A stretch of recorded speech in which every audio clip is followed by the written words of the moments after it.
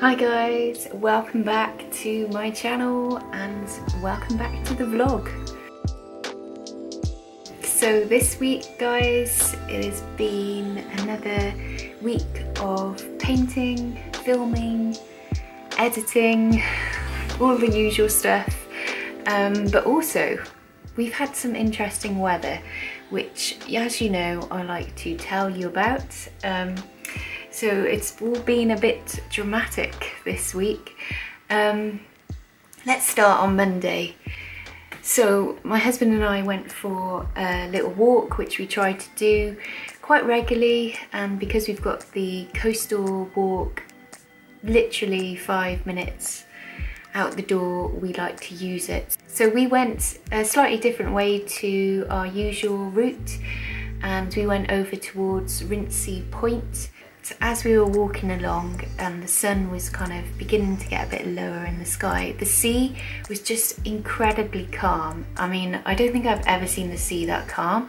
It was really cold as well. It, I think it was probably zero. Um, and I happened to have my camera and as I just stood there filming, it just looked like the sea just looked like a mirror, especially with the sun kind of reflecting on it and it was just so bizarre. It was really quite um, awesome as well as as well as just beautiful. It was just yeah breathtaking to see. So that happened on Monday, and then Tuesday it snowed, which is kind of unheard of in these parts. Um, I think the last time it really properly snowed was maybe 2010. But yeah, it's very few and far between. Snow days rarely happen. Um, so there was a lot of excitement in the village the day it started snowing. When I say snow, uh, I'm not talking like feet, I'm talking like probably one centimetre, half a centimetre of snow so yeah, it wasn't like an amazing amount, but the fact was it did snow and it settled for a tiny bit.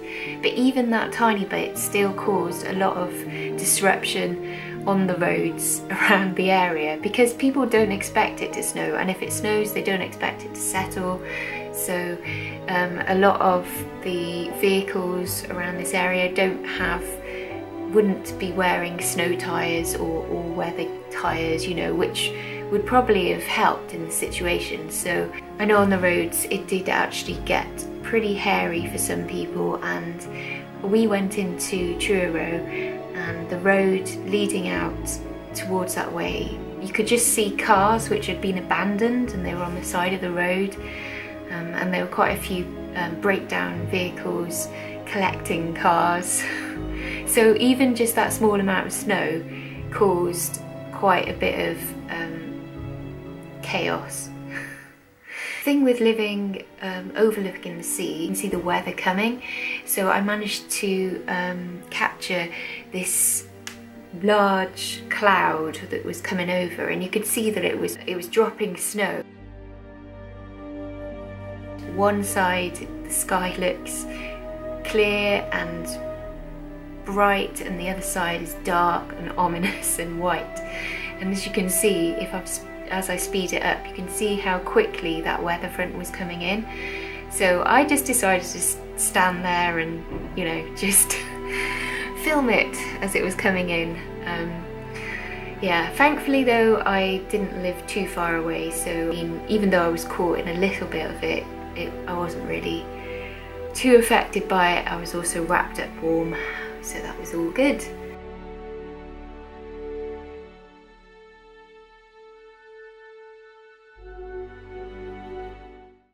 So yeah, as you saw at the beginning of this vlog, I've been painting more details, um, trying to get out um, it all depends again on the weather. The thing with doing like smaller details is that it's a lot quicker to do so I don't have to be out there for you know 40 minutes an hour. I can just go out for 20 minutes and draw um, like a little detail that I want to include in the book and I've also been filming the, the film I want to do to help raise awareness of um, the sketchbook that I want to publish and of course obviously get financial support from people which I'm a little bit terrified about asking for that help but it's the only way I'm going to be able to do this is if I get people um, committed to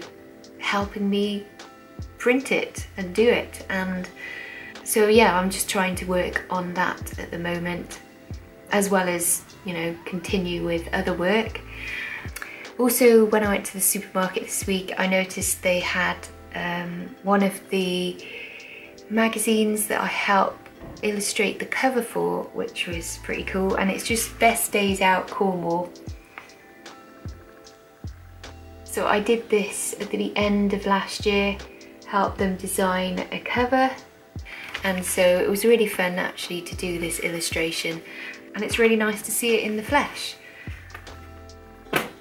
Oh yeah, and when we were in Truro this week, we were looking for um, a blazer for my husband because we are going to be going to my brother's wedding very soon.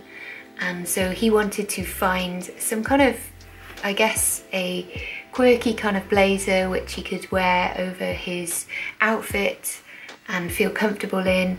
We were looking in a lot of shops trying to find something that would go with what he had already. And then we came across this amazing shop, this vintage shop. So in Truro which was down one of the side streets.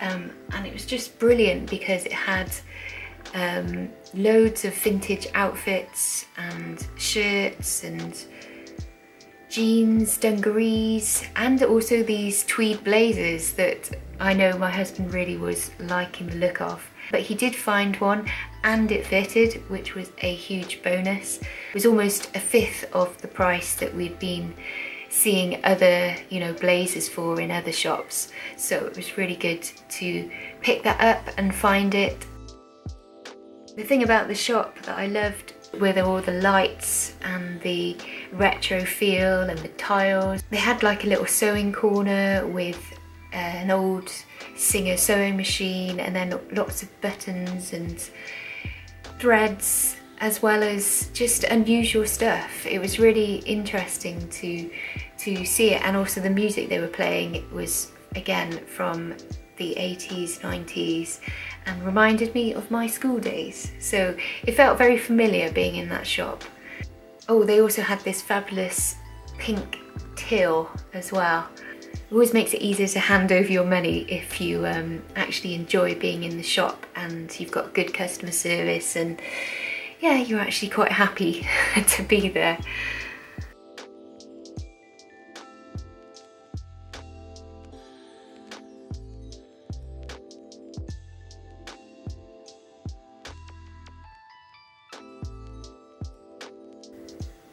Anyway guys, I hope you're well and I'll speak to you again soon. Bye!